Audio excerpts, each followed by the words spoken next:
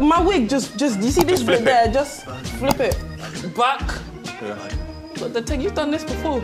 Yeah. You've been giving girls different hairstyles and When that. he's grabbing it and he's hitting the buns. Nah, chill out.